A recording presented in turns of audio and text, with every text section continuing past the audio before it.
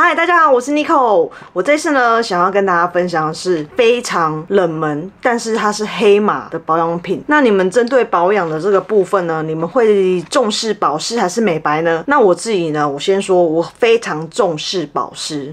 这一次呢，影片里面会有分享两样产品，一个是精华液跟面膜，但是可能是大家比较不常看到的。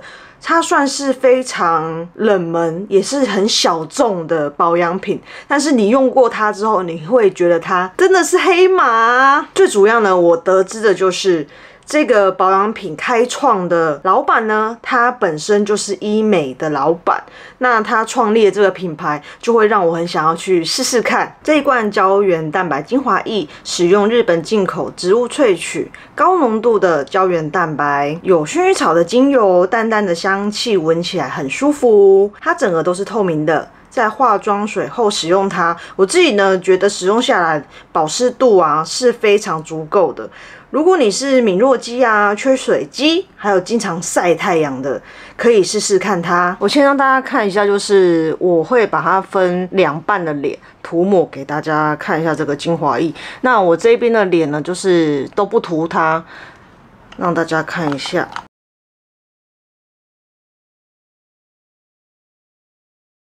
有上过精华液的肌肤啊，很明显就是透亮很多。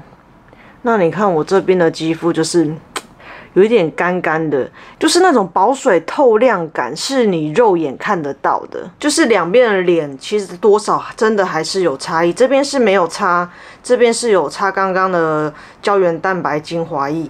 其实我真的觉得肌肤保湿真的非常重要。我自己本身是混合肌偏干，那。我 T 字部位是非常容易出油，就是这个 T 字部位很容易出油，所以呢，我保湿是特别一定要加重再加重，要很重视。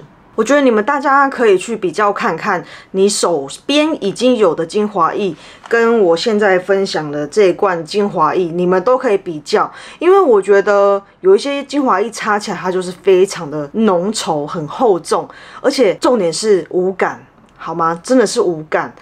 那这一罐我分享的，它是真的有感，让你由内而外的觉得肌肤是真的有保湿。那当然，基本上你还是要多喝水，不能只单靠保养品。唯一的小缺点就是，它虽然是用真空瓶去做包装设计，但是它没有办法看到里面的用量剩多少，所以你就是只能一直按压按压，用到它真的挤不出来了。为止，没有办法，就是还要看说，哎，我可以用到剩多少，我准备要去补货了。这样说到保湿，联想到的一定也会有面膜，对吧？这一款面膜是我今年使用过保湿面膜系列，在有感排名内，敏感性肌肤呢都可以使用哦。到隔天，肌肤依然都是有保湿，也不会有。很厚重的胶感，保湿弹 Q 隐形面膜，它的精华液很多，剩余的呢也可以涂抹在身体的其他部位。本身呢面膜它是使用生物短纤维，服帖度算是很不错。鼻翼两侧呢使用的时候，可能要把它剪开，会比较贴合。鼻翼的两侧有没有使用面膜的感觉？还是有差哦。肌肤的水润感还有透亮感是直接肉眼就可以看到了。现在的天气真的非常的炎热，都一定会想要待在冷气房里面吹冷气。但是你们有想过吗？冷气是真的会带走你肌肤上的水分，而且会越吹越干。你光想到的时候，你就会觉得非常的可怕。我知道大家每个女生啊都会想要有一个白皙漂亮的肌肤，但是呢，我真心要告诉大家，你的肌肤有做好保湿很重要的这个工作，你的肌肤呢就会由内而外的透亮出来，这一点是真的非常重要哦。